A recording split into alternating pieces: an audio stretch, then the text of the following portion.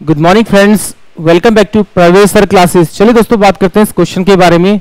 यहाँ पर क्वेश्चन दे रखा है ये five two twelve six nine ten six eight और फोर अभी तक हम लोग क्या करते हैं? बड़ा नंबर देख के या छोटा नंबर देख के स्क्वायर रूट या क्यूब रूट निकाल रहे थे अब बात करते हैं डिफरेंस की या फिर प्लस की या मल्टीप्लाई की। क्या मैं इन दोनों का डिफरेंस निकाल सकता हूँ? यस जब मैंने इनका डिफरेंस निकाल तो मेरे पास कितना है? थ्री इन दोनों का डिफरेंस निकाल तो मेरे पास कितना आएगा? सिक्स और इन दोनों के डिफरेंस को अगर मैं ऐड करूँ तो क्या मेरे पास नाइन बन रहा है?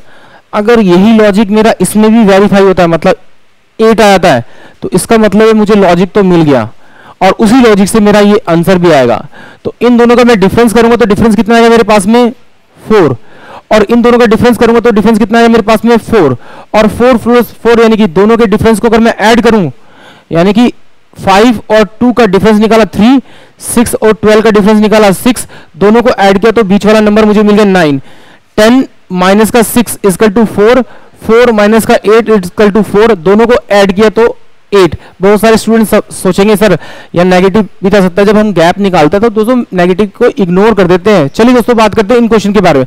इनका डिफरेंस निकाला तो कितना है मेरे पास? वन इन दोनों का डिफरेंस निकाला तो कितना है मेरे पास? सिक्स और दोनों को ऐड करूँगा तो मेरे पास आएगा कितना? सेवन और ये सेवन है मेरा।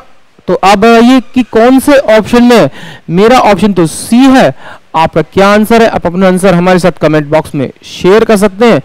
ये रहा आपके लिए क्वेश्चन ऑफ़ द डे तो दोस्तों, चलिए मिलते हैं नेक्स्ट क्लास में अगली सुबह छह बजे सॉरी सात बजे बाय बाय